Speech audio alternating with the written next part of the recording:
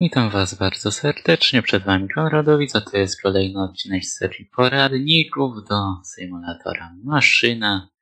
Dzisiaj będzie uruchamianie na chłodziwie w temperaturze otoczenia SU-45. Działa to tak samo z SU-46, gdzie jest zasymulowane ogrzewanie wody. I tak, jak widzimy manometr temperatury obiegu głównego wody. No, jest właściwie w temperaturze otoczenia, czyli nie wiem, coś około 5 stopni Celsjusza by było. No cóż, to robimy wpierw. Załączamy sobie bateryjki. I teraz u Was załączy się czuwak SHP. Dajecie nastawnik jazdy na D i spacją pracujecie sobie Czuwak u mnie się nie wyświetla, bo jestem w trybie, który nam ułatwi i przyspieszy czas podczas ogrzewania wody. Następnie załączamy sobie pompę wody. Można to zrobić również klawiszem W na klawiaturze oraz ogrzewanie wody klawiszem Shift plus W. Teraz aktualnie możemy zobaczyć efekt, że temperatura wody zaczyna rosnąć. I teraz tu macie czas w maszynie i zobaczcie ile czasu zajmuje nagrzanie się wody.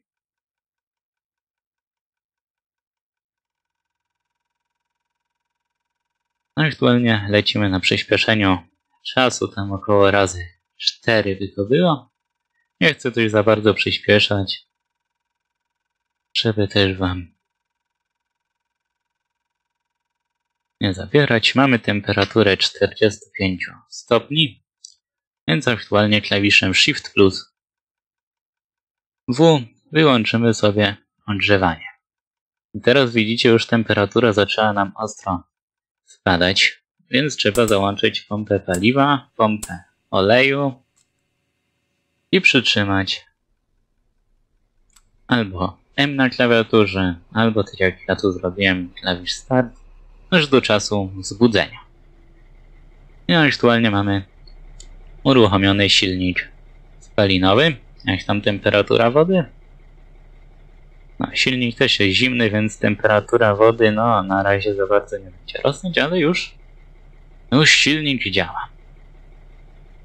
Następnie to należy zrobić. Na pewno należy załączyć reflektory Można sobie wentylator włączyć, no niestety w maszynie to nie działa. I wentylatory przede wszystkim silników trakcyjnych również należy załączyć. Po takim uruchomieniu lokomotywy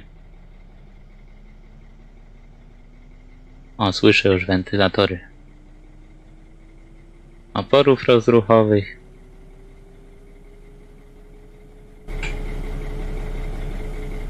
Słyszycie? To są właśnie wentylatory oporów rozruchowych. I teraz możemy sobie wyluzować hamulec. Klikając najpierw kropeczkę na klawiaturze numerycznej oraz przytrzymując klawisz 4 na klawiaturze numerycznej. Aktualnie występuje popełnienie zbiorników Napełnienie cylindra. Dobrze. Teraz klikamy sobie szóstkę na klawiaturze numerycznej po takim odhamowaniu i możemy dać nastawnik jazdy na pozycję na przykład 2. I aktualnie nasza lokomotywa zaczyna pomału ruszać z miejsca. Na przykład mamy takiego delikwenta tutaj, że jest semafor na S1 stój. Więc nawiszę numer 3 na klawiaturze numerycznej. Popełniamy sobie cylinder hamulcowy. Albo robimy to za pomocą klawisza 1 i 7 na klawiaturze numerycznej również to zadziała. I zerem sobie to znaczy kropeczką, odhamowywujemy.